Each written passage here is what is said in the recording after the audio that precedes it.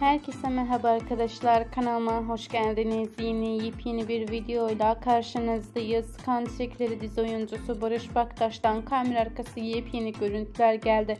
Biz de anında sizlerle paylaşıyoruz. Umarım videomuzu beğenirsiniz.